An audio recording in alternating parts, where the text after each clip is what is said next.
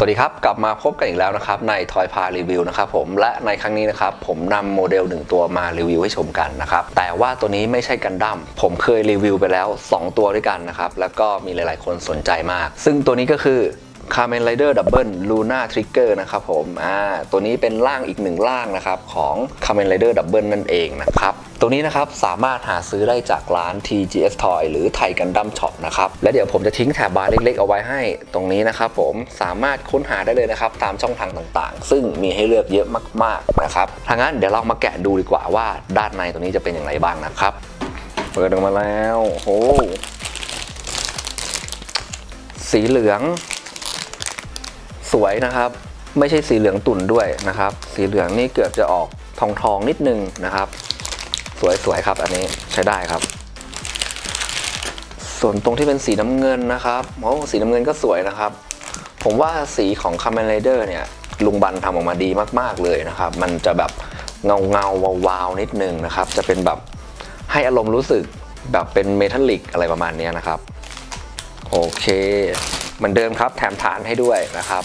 นี่แถมฐานให้ด้วยถือว่าคุ้มมากนะครับทางนั้นเดี๋ยวเราไปชมกันดีกว่าครับว่าเจ้าตัวนี้ประกอบออกมาแล้วจะเป็นยังไงบ้างนะครับ ไป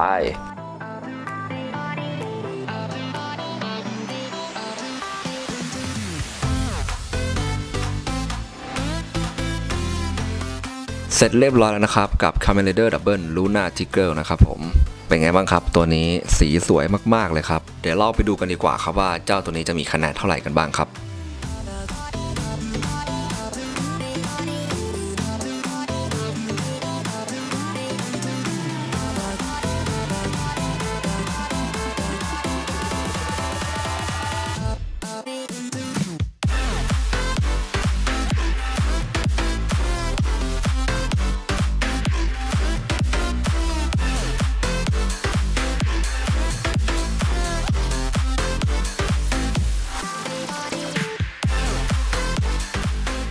เรามาเริ่มกันที่ข้อแรกเลยครับ ความง่ายในการประกอบนะครับสำหรับตัวนี้นะครับ ถ้าใครนะครับที่เคยดู c a m e n Rider Double มาก่อนหน้านี้แล้วนะครับ ที่เป็นคลิปที่ทำออกมาแล้ว 2 ตัวนะครับ อันนี้ก็จะเป็นร่างสุดท้ายนะครับที่เขามีวางจำหน่ายในตอนนี้นะ ถ้าใครที่ซื้อก็จะมีทั้งหมด 3 กล่องด้วยกันนะครับ ตัวนี้ก็จะเป็นอีก 1 ตัวนะครับ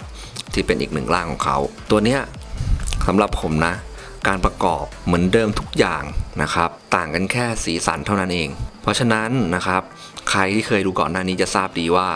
เจ้าตัวเนี้ยมันประกอบง่ายหรือยากแค่ไหนนะครับสำหรับผมเนี่ยถือว่ามันประกอบไม่ยากเหมือนเคยเลยนะครับเพราะการประกอบเหมือนกับอีก 2 ตัวที่ผ่านมา ใครที่เป็นมือใหม่ หรือว่าใครที่กำลังจะหัดต่อเนี่ยหรือน้องๆหนูๆเนี่ยนะครับสามารถซื้อตัวนี้มาลองประกอบก่อนได้เลยสำหรับตัวนี้นะครับความง่ายในการประกอบนะครับ ผมให้ 5 เต็มเลยครับมาต่อกันในข้อที่2นะครับรายละเอียดของโมเดลนะครับตัวนี้ ก็อีกเช่นเคยนะครับ รายละเอียดดีมากนะครับ ถึงแม้ว่าเขาจะทำออกมาเยอะ แต่รายละเอียดก็ยังคงมาตรฐานเอาไว้ ซึ่งเดินเส้นเดินลายมาให้ทุกส่วนเลยนะครับ แม้กระทั่งตรงปืนเห็นไหมครับ ตรงปืนเนี่ยเก็บละเอียดมากๆนะครับ ถ้าใครที่ได้เห็นงานจริงอะนะครับ จะทราบดีเลยว่ามันละเอียดมาก เดินลายทุกส่วนแบบเป๊ะมากนะครับ ทั้งสองฝั่งเลยนะครับ ทั้งด้านหน้าแล้วก็ด้านหลังเลยนี่ สวยจริงๆนะครับอันนี้รายละเอียดดีมากสำหรับผมนะครับมาตรฐานของตัวนี้ถือว่าคงมาตรฐานเอาไว้ได้ดีมากนะครับและในข้อนี้นะครับคะแนนของรายละเอียดของโมเดลนะครับผมขอให้ 5 เต็มเลยครับมาต่อกันที่จุดขยับของโมเดลนะครับสำหรับตัวนี้นะครับเดี๋ยวเราจะมาลองขยับกันว่าทำอะไรได้บ้าง เริ่มจากหัวก่อนเลยนะครับนี่ก้มหน้านะครับเงยหน้าได้เยอะนะครับ หันซ้ายนะครับ หันขวา ก็โอเคเลยนะแขนยกขึ้นอ่าได้ประมาณนี้นะครับแล้วถ้ายกขึ้นแบบนี้ก็ยกได้สุดเลยนะข้อพับ ข้อพับถือว่าดีครับ พับได้เยอะเลยนะแล้วก็เอากลับไปข้างหลังเอาเอากลับข้างหลังก็ได้เยอะเหมือนกันนะก็ถือว่าใช้ได้นะครับ แล้วก็โยกตัวนะครับยกตรงส่วนอกได้ด้วยนะครับ ตรงส่วนอกก่อนแยกเป็นชิ้นเลย แล้วก็ยกตรงส่วนเอว นี่นะครับส่วนเอวถ้าเราเงยหน้าแบบพร้อมกันทั้งเอวอกแล้วก็คอนี่ได้เยอะเลยโอเคเลยนะครับอ่าแล้วก็ตรงเข็มขัดนะครับฟึบอ่าเหมือนเดิมเลยลูกเล่นของเขานะขยับได้นะครับ ตรงปืนนะครับ ตรงนี้ก็สามารถใส่ไดเวอร์ลงไปได้นะครับ แล้วก็พับขึ้นมาแบบนี้ได้นะก็ถือว่าเก็บรายละเอียดได้ดี ตรงขานะครับ กลางได้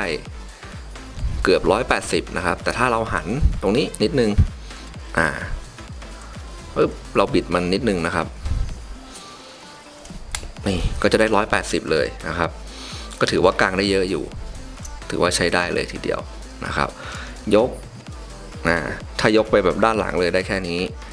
ยกขึ้นด้านหน้า นี่ได้ 90 องศาเลยครับ แล้วก็ข้อพับ ก็ถือว่าเยอะนะข้อพับ ผมคิดว่า การจัดท่าจริง ๆ คงไม่มีใครพับไปเยอะกว่านี้แล้วแหละ ระดับนี้ก็ถือว่าใช้ได้แหละ แล้วก็ตรงข้อเท้านะครับ บิดออกได้นะครับ แต่บิดเข้าไม่ค่อยได้เท่าไหร่นะครับ แล้วก็กดลงได้แบบนี้นะครับ งมขึ้นได้ อ่า ก็ถือว่าขยับได้ดีเลยนะครับ โอเคเลยตัวนี้นะครับสำหรับผมนะครับจุดขยับของโมเดลนะครับ ผมให้ 5 เต็มเลยครับ มาต่อกันที่ข้อความแข็งแรงของโมเดลนะครับสำหรับตัวนี้นะครับ ความแข็งแรงของมัน ผมไม่แน่ใจว่าแล้วแต่กล่องหรือเปล่านะครับ แต่ว่ากล่องของผมเนี่ยผมรีวิวเฉพาะตัวนี้ล้วกันนะครับ คือตรงช่วงอกเนี่ยมันค่อนข้างหลวมกว่า 2 ตัวที่แล้วนะครับ มันจะหลวมมากนะครับ ผมขยับนิดเดียวมันโยกได้เลยตรงเอวด้วยนะครับ มันจะค่อนข้างหลวมไปหน่อยนะครับ แต่ว่าถ้าเราขยับแล้วเราจัดท่าให้มันอยู่นิ่งๆเนี่ยมันก็สามารถอยู่ของมันได้ และตรงส่วนอื่นก็จะเป็นหัวอ่าหัวก็ รู้สึกว่าเวลาก้มเงยเนี่ยมันจะค่อนข้างแบบดูหลวมๆหน่อยนะครับ แต่หันซ้ายหันขวาแน่นนะเอออันนี้แปลกมากนะครับ แล้วก็ส่วนอื่นๆนะครับ ที่ผมดูก็ไม่มีส่วนไหนที่รู้สึกว่ามันหลวมหรือว่าไม่แข็งแรงแล้วนะครับ ก็จะมีประมาณนี้สำหรับผมนะครับ ในข้อนี้นะครับความแข็งแรงของโมเดล ผมขอให้ 4 แล้วกันครับ มาต่อกันในข้อสุดท้ายนะครับ ความคุ้มค่าของโมเดลนะครับสำหรับตัวนี้เราได้อะไรบ้างนะครับ ผมเราได้ตัวของเขาเลยนะครับ แบบนี้ 1 ตัวนะครับ ซึ่งสีสวยมาก สีแบบกึ่งกึ่งเมทัลลิกนะครับ ทั้งสองข้างเลยนะเราก็ได้มือนะครับ ถือปืนหนึ่งข้าง